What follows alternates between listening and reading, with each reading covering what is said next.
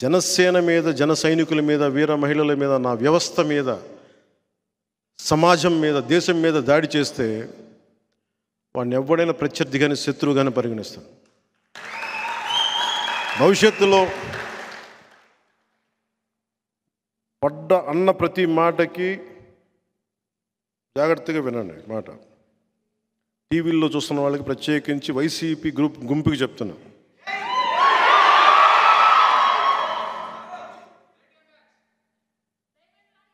వాళ్ళ గురించి అంత మాటలు ఆలోచించండి వాళ్ళు చాలా చిన్న మనుషులు.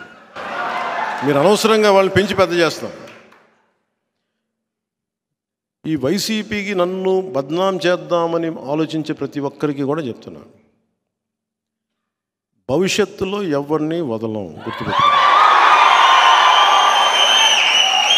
మీరు కాళ్ళ వేళ్ళ మీద పడ్డ కూడా నాకు కనికరం రాదు గుర్తుపెట్టుకోండి.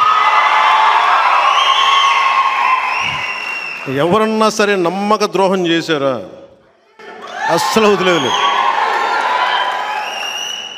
ఎందుకంటే నేను నేను చేసేది యుద్ధం ఇది. ఎవరిని స్పేర్ చేయను నేను. నేను చేసేది యుద్ధం ఇది. మన పార్టీలో ఉండి కోవట్లుగా వెళ్ళిపోయి వచ్చి కోవట్లుగా వెళ్ళిపోతానంటే అలాగే రెండు వేల పంతొమ్మిదిలో చాలామంది యువ నాయకత్వానికి సీట్లు ఇచ్చాను నేను. బాగా పనిచేశారు ఒక పంచకర్ల సందీప్ కానీ. నిలబడ్డా. ఒక టీసీ వరుణ్ కానీ. మేము తెలియకపోవచ్చు. అనంతపురం. చాలామంది యువత ఒక చైతన్య కానీ ఒక రామ్మోహన్ కానీ వీళ్ళందరూ కూడా చాలా బాగా చేశారు పనులు. ఇలాంటి చాలామంది ఉన్నారు. పోతిని మహేష్ కానీ నేను ఎవరిని అంటే సమస్య ఏమొచ్చిందంటే అందరినీ ప్రొవైడ్ చేయడానికి రెండు సమస్యలు కొంతమందికి ఇవ్వగలిగాను.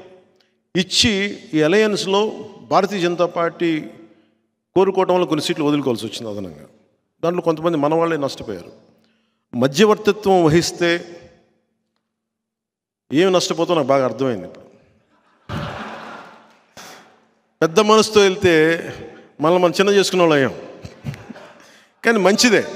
నేను పెద్ద మనసుతో చేసిన తగ్గించుకున్నా కానీ ఐదు కోట్ల మంది ప్రజలకి మా వాళ్ళు పది మంది త్యాగం నిజంగా మంచిదే. విదురు నీతిలో విదురు నీతిలో ఒకటి ఉండదు. ఒక రాజ్యం కోసం ఒక ఒక కుటుంబం కోసం ఒక వ్యక్తి ఒక గ్రామం కోసం ఒక కుటుంబం ఒక రాజ్యం కోసం ఒక గ్రామాన్ని వదులుకోక తప్పదని. అంటే ఒక రాజ్యక్షేమం కోసం గ్రామాన్ని కూడా వదులుకోక తప్పదని. అలాగే ఒకసారి మేము రాజ్యక్షేమం కోసం ఆంధ్ర రాజ్యక్షేమం కోసం నాతో సహా మేము త్యాగాలు చేయాల్సి వచ్చింది. ఒక పార్లమెంట్ సీట్ కూడా వదులుకోవాల్సి వచ్చింది. స్వయాన మా అన్న.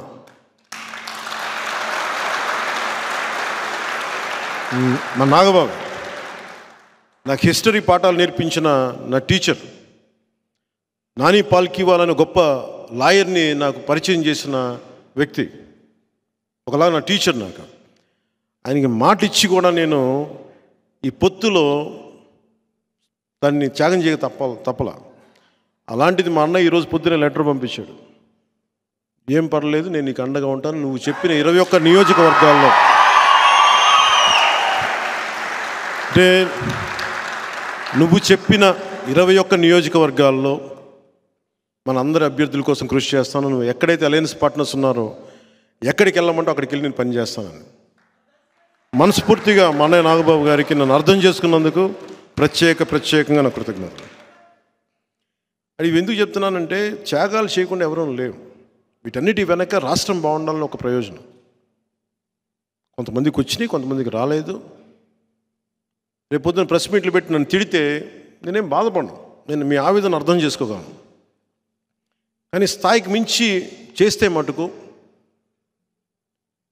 క్రమశిక్షణ చర్యలు తప్పవు. ఎందుకంటే నేను మీరు నన్ను వ్యక్తిగతంగా ఏదైనా తిట్టండి. పొత్తు ధర్మాన్ని మటుకు జనసేన మీద జన సైనికుల మీద వీర మహిళల మీద నా వ్యవస్థ మీద సమాజం మీద దేశం మీద దాడి చేస్తే వాడిని ఎవడైనా ప్రత్యర్థి కానీ శత్రువు కానీ పరిగణిస్తాను భవిష్యత్తులో పడ్డ అన్న ప్రతి మాటకి జాగ్రత్తగా వినండి మాట. టీవీల్లో చూస్తున్న వాళ్ళకి ప్రత్యేకించి వైసీపీ గ్రూప్ గుంపుకి చెప్తున్నా.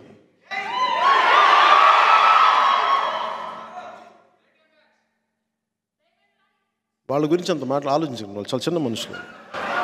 మీరు అనవసరంగా వాళ్ళని పెంచి పెద్ద చేస్తారు ఈ వైసీపీకి నన్ను బద్నాం చేద్దామని ఆలోచించే ప్రతి ఒక్కరికి కూడా చెప్తున్నాను. భవిష్యత్తులో ఎవరిని వదలం గుర్తుపెట్టు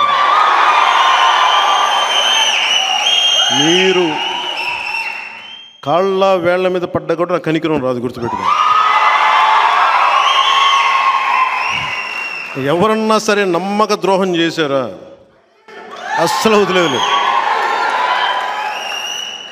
ఎందుకంటే నేను నేను చేసేది యుద్ధం ఇది.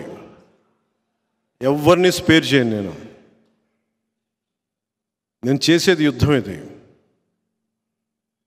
మన పార్టీలో ఉండి కోవట్లుగా వెళ్ళిపోయి వచ్చి కోవట్లుగా వెళ్ళిపోతానంటే అలాగే రెండు వేల పంతొమ్మిదిలో చాలామంది యువ నాయకత్వానికి సీట్లు ఇచ్చాను నేను. బాగా పనిచేశారు ఒక పంచకర్ల సందీప్ కానీ. నిలబడ్డా ఒక టీసీ వరుణ్ కానీ. మేము తెలియకపోవచ్చు. అనంతపురం. చాలామంది యువత ఒక చైతన్య కానీ ఒక రామ్మోహన్ కానీ వీళ్ళందరూ కూడా చాలా బాగా చేశారు పనులు. ఇలాంటి చాలామంది ఉన్నారు. ఒక పోతిని మహేష్ కానీ. నేను ఎవరిని అంటే సమస్య ఏమొచ్చిందంటే అందరినీ ప్రొవైడ్ చేయడానికి రెండు సమస్యలు కొంతమందికి ఇవ్వగలిగాను. ఇచ్చి ఈ అలయన్స్లో భారతీయ జనతా పార్టీ కోరుకోవడం వల్ల కొన్ని సీట్లు వదులుకోవాల్సి వచ్చింది అదనంగా. దాంట్లో కొంతమంది మన వాళ్ళే నష్టపోయారు. మధ్యవర్తిత్వం వహిస్తే ఏమి నష్టపోతో నాకు బాగా అర్థమైంది ఇప్పుడు. పెద్ద మనసుతో వెళ్తే మనల్ని మనం చిన్న చేసుకున్న వాళ్ళు అయ్యాం. కానీ మంచిదే. నేను పెద్ద మనసుతో చేసిన తగ్గించుకున్నా కానీ ఐదు కోట్ల మంది ప్రజలకి మా వాళ్ళు పది మంది త్యాగం నిజంగా మంచిది. విదురు నీతిలో విదురు నీతిలో ఒకటి ఉండదు. ఒక రాజ్యం కోసం ఒక ఒక కుటుంబం కోసం ఒక వ్యక్తి ఒక గ్రామం కోసం ఒక కుటుంబం ఒక రాజ్యం కోసం ఒక గ్రామాన్ని వదులుకోక తప్పదని అంటే ఒక రాజ్యక్షేమం కోసం గ్రామాన్ని కూడా వదులుకోక తప్పదండి. అలాగే ఒకసారి మేము రాజ్యక్షేమం కోసం ఆంధ్ర రాజ్యక్షేమం కోసం నాతో సహా మేము త్యాగాలు చేయాల్సి వచ్చింది. ఒక పార్లమెంట్ సీట్ కూడా వదులుకోవాల్సి వచ్చింది. స్వయాన మా అన్న.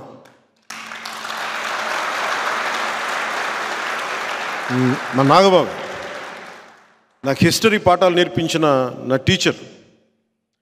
నాని పాల్కివాల్ అనే గొప్ప లాయర్ని నాకు పరిచయం చేసిన వ్యక్తి ఒకలా నా టీచర్ నాకు. ఆయనకి మాట ఇచ్చి కూడా నేను ఈ పొత్తులో దాన్ని త్యాగం చేయక తప్ప తప్పల. అలాంటిది మా అన్న ఈరోజు పొద్దున లెటర్ పంపించాడు. ఏం పర్లేదు నేను నీకు అండగా ఉంటాను. నువ్వు చెప్పిన ఇరవై ఒక్క నియోజకవర్గాల్లో అంటే నువ్వు చెప్పిన ఇరవై ఒక్క నియోజకవర్గాల్లో మన అందరి అభ్యర్థుల కోసం కృషి చేస్తాను. నువ్వు ఎక్కడైతే అలయన్స్ పార్ట్నర్స్ ఉన్నారో ఎక్కడికి వెళ్ళమంటో అక్కడికి వెళ్ళి నేను పనిచేస్తానని మనస్ఫూర్తిగా మా అన్నయ్య నాగబాబు గారికి నన్ను అర్థం చేసుకున్నందుకు ప్రత్యేక ప్రత్యేకంగా నా కృతజ్ఞతలు. అది ఎందుకు చెప్తున్నానంటే త్యాగాలు చేయకుండా ఎవరూ లేవు వీటన్నిటి వెనక రాష్ట్రం బాగుండాలని ఒక ప్రయోజనం. కొంతమందికి వచ్చినాయి కొంతమందికి రాలేదు. రేపు పొద్దున ప్రెస్ మీట్లు పెట్టి నన్ను తిడితే నేనేం బాధపడను. నేను మీ ఆవేదన అర్థం చేసుకోగలను. కానీ స్థాయికి మించి చేస్తే మటుకు క్రమశిక్షణ చర్యలు తప్పవు. ఎందుకంటే నేను మీరు నన్ను వ్యక్తిగతంగా ఏదైనా తిట్టండి పొత్తు ధర్మాన్ని మటుకు ఆ స్ఫూర్తిని చంపకండి. అలాంటి వ్యక్తులు ఎవరన్నా కూర్చొని ఉన్నా కానీ భవిష్యత్తులో కానీ సమీప భవిష్యత్తులో కానీ ఖచ్చితంగా క్రమశిక్షణ చర్యలు తీసుకుంటాను.